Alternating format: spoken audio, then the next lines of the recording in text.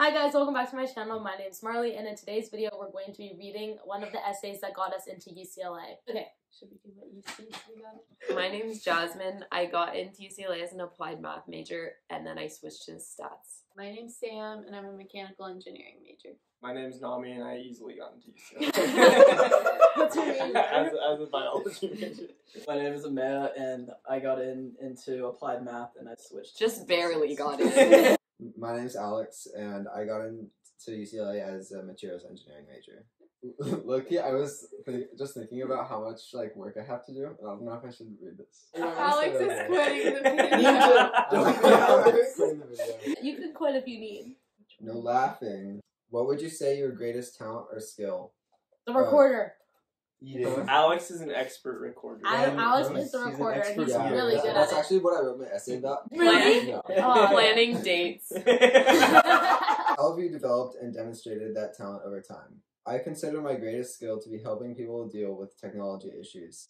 My bro. For real, you little idiot. You're not allowed to laugh. His greatest talent is being IT. My interest in technology began when I was about four and got my first computer. It was an early computer from the 90s, simple and new, much like I was. I used it to make drawings with Microsoft Paint and play a game about the children's show Blue's Clues. Over the years, I used and received various electronic devices, such as school computers and an iPod Touch, and I got familiar with them. When I was in sixth grade, my teachers started using new projectors. Some of the teachers were not sure how to set up the computer screens, and they would ask if anyone knew about technology and could help them. I was happy to volunteer and enjoyed helping them learn about the new equipment. At the end of the year, I ran for a technology commissioner on student council and served in that role the next year. In eighth grade, I liked offering to update the operating systems on my friends' phones. That year, I also began watching YouTube videos about tech whenever I had free time, such as on the bus, in the car, and after I finished homework. I learned a lot about gadgets, computer software, and hardware, and the tech community from watching videos and continue to learn that way today. In 10th grade, the videos inspired me to build my own desktop PC. I watched many tutorials about building computers and, and which parts tend to build the best low budget computer. After I built my PC, my dad asked me if I could help him build a new computer for his work and we built one together. Since I grew up with technology, figuring out new technology has always come naturally to me. Helping others with technology brings me joy because it allows me to share my interests with others while benefiting them. I want to major in engineering to expand my knowledge of technology and give back to the tech community. Nice. I can leave. Peace. Where are you leaving? Whoa. What would you say is your greatest talent or skill? How have you developed and demonstrated that talent over time? For as long as I can remember, I have been driven by skepticism. At the age of six, I launched a thorough investigation into the existence of Santa Claus. While this investigation left me heartbroken, it raised further questions and I needed more answers. My investigative abilities were again put to the test when, in fourth grade, I noticed a lollipop missing from my stash on Halloween and I sensed foul play. Had it been orange, I might have looked the other way. This is so cute. Keep But for going. Cherry, I spared no effort. Yes! This is so good. Cherry. After factoring in the time of disappearance and relative location of my classmates, I narrowed in on a suspect and noticed his tongue stained red with the blood of my cherry lollipop. his confession followed. As I grew up, this investigative nature sparked a passion for crime solving. I transitioned from crime shows to documentaries on criminal investigation. I learned to conduct statistical analyses and read body language. I pored over suspect interviews, taking note of compressed lips, tapping feet, or darting eyes. Nonverbal cues became my second language. My friends sarcastically titled me Sherlock Holmes for my peculiar passion. However, they have been quick to ask for assistance with cases of their own. My friend employed me when her wallet was stolen at a party, and I had it back by the end of the night. From trivial matters of stolen lollipops, I began to investigate real crimes. I ordered the Unsolved Case Files, a game that provides cases with just enough evidence for a skilled detective to solve them. I apply my mathematical abilities to detect statistical irregularities, I employ my programming skills to perform digital simulations, I make use of my psychoanalytic understanding to assess guilt. Solving these simulations gives me a brief feeling of triumph, always followed by disappointment that the fruits of my labor are limited to a fictional game. I plan to pursue this passion so that one day I won't be catching lollipop thieves, I'll be saving lives. That was so good. Describe an example of your leadership experience in hmm. which you have positively influenced others, What? helped resolve disputes, or contributed to group efforts over time. It is difficult for students to take advantage of the opportunities school offers unless they feel comfortable in their environment. While I attended Distinguished High School, the atmosphere of our campus is far from perfect. During my early high school years, my school's lack of inclusivity became my greatest concern. From noticing dozens of students eating lunch alone to hearing derogatory insults directed at certain individuals, both enraged and disappointed with this normalization of exclusivity, I desired to influence change. I joined No Place for Hate, a club which seeks to create a hate free environment through promoting inclusivity and fostering diversity. I was determined to initiate ideas to better my school's social life. The first activity I organized was meaningful to me on a personal level. As a special needs student myself, I understand how similar students felt estrangement on campus. In coordination with my school's special education department, I discussed activity ideas with faculty members, intending to create a sense of belonging for special needs students. We decided on a lunchtime game day where such students could gather to play games while interacting with other students. The reception was remarkable, so much so that the event became a weekly feature of school. This simple act of showing care helped these students become more comfortable at school. Ultimately, the goal of No Place for Hate is to create peace through belonging. While that goal is yet to be fully accomplished, I am proud of the strides my school has taken towards becoming a more welcoming place.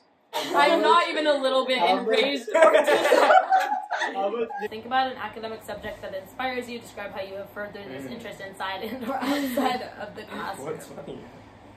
you said, I, mm. I, I was just admiring the question. Okay, you can. One toilet paper roll, aluminum foil, red wires, and a battery. That's all I needed to make a radio. Well, that and my awesome scientist uncle. Every year for my birthday, Uncle Joel, a professor of physics at UCSC, taught me how to build a new science gadget. One year we made a weather forecaster. Another, we looked at organisms through a microscope that connected to a computer. That year, we built a radio. When I ripped open the box to reveal the radio kit, I excitedly started gathering all the materials. We sat together in the crisp late winter air, trying to flatten the aluminum foil so that we could get good reception. Finally, after several attempts, we heard a soft rhythm come from the concoction of materials sitting on the table in front of us. Pride radiated from my face at the success of building something with my own hands. When my uncle was diagnosed with stage 4 lung cancer a few years later, he made sure to keep teaching, supporting, and pushing me to challenge my mind and look at the scientific side of the world. He would send me math problems on sticky notes, and I would solve them and send them back to him. He would call me and ask me what I was learning about in biology, or if I'd read the most recent article on the Curiosity rover. Uncle Joel showed me that science was about more than just numbers and formulas. It was about thinking through real world problems and focusing on every detail, even the divots in the aluminum foil. When Uncle Joel died, I thought back to all the times we spent together building in my backyard. He inspired me to take extra science classes in school, take a summer astrophysics course at Stanford, and become passionate about cancer research. I know that he would be proud of me no matter what I do in life, but I want to follow in his footsteps and continue his passion for science and discovery. What would you say is your greatest talent or skill? How have you developed and demonstrated that talent over time? Emigrating from one country to another provides a fascinating array of challenging opportunities. I arrived in the United States from Iran when I was but seven months old, and that pivotal event propelled me into developing a crucial skill multilingualism. From speaking Farsi at home, using English with my friends, and learning Spanish throughout the years of language courses, I've been able to break through the barriers that different languages create. Multilingualism has enabled me to form relationships with larger groups of people and broaden mutual perspectives. For years, transitioning from Farsi to English to Spanish seemed simple to me. I viewed my ability to speak three languages as unimportant until a unique situation arose in which the true power of words came to light. Last year, on the anniversary of my late grandmother's death, my family and I traveled to downtown San Diego to distribute ice cream, my grandma's favorite dessert, to the homeless and laborers struggling in the hot sun. we did this to honor a commitment my grandmother cherished as she aged. Since this was my first time delivering treats, my mother accompanied me as I respectfully approached a group of Hispanic construction workers. Speaking to me in Farsi, my mother explained to me on how to address the group of men and explained to them why we were there. Translating her words, I repeated them in English to the workers. What I had anticipated to be a simple task soon became awkward as the workers thought I was trying to sell them the ice cream. Desperately trying to resolve the issue, my mom spoke rapidly in Farsi while I rattled on in English until I suddenly stopped when I heard one man mumble the Spanish word for ice cream. Confused, my mother and the construction workers stared at each other in silence until, to their surprise, I explained everything in Spanish. Delighted, the men approached us as we handed out ice cream bars and they thanked us repeatedly. Through this rewarding experience, I discovered the importance of serving my community through the power of being trilingual. Beyond what has already been shared in your application, what do you believe makes you stand out as a strong candidate for admissions to the University of California? I learned early on that being a Marine's daughter meant not growing roots. By the time I was seven years old, I had already lived in four states and gone to three elementary schools. Change was just a part of life. Sure, I had to leave all my friends behind, but I couldn't be sad. At least this time, the move would all be worth it because I would be living on the beach every day in San Diego. My first day of second grade in California was terrifying. I was going to a public school for the first time in the middle of the year in a new state. All my new classmates stared me down as I introduced myself in my southern accent. The anxiety intensified when the bell rang and the class was released to recess and I was abandoned on the sidelines. I moved again just four years later and the feelings of isolation returned.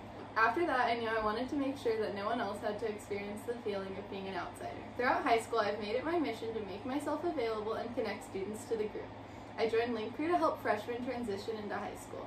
During orientation, we let all the freshmen know they could reach out if they needed to, and about a month later, Hugh, one of my freshmen, sent me a direct message on Instagram asking for help. Helping Hugh is a part of my commitment to making everyone feel welcome. My experience with loneliness and being an outsider has shaped me into a person who empathizes with and is committed to making sure others feel welcome and valued. College represents a new setting with its own challenges. Although I'm nervous, I am looking forward to bringing my own skills of adaptability and empathy with me. Okay, so as you can see, there's a variety of different kinds of essays you can write, and that's those are ours. This video is a train wreck. yeah, literally. Uh, four stars. If you Come like and this do video, some make sure you try. get four stars. More essays if this hits 5,000 likes. Nah, Nicole wouldn't do that. And if you like this one, we'll read your Common App essays. Like, Bye, two. guys. Thanks for watching. You're kicked out. Get out of here. He's being No, vulnerable and sharing mine- something mine with us. it's the fun room. You can do whatever you want. Rude. Get out. Get out. The ice cream dripped onto my hand like No, the yeah, knowledge either one, either from one. my mind. video, like- I'm on the edge of my seat. Oh, that's just a shame. No, no, he's just hiding oh. from me. He was just trying to stay out That of was the Molly projecting right there. he looks like a little gremlin. He's over there squatted. We're all just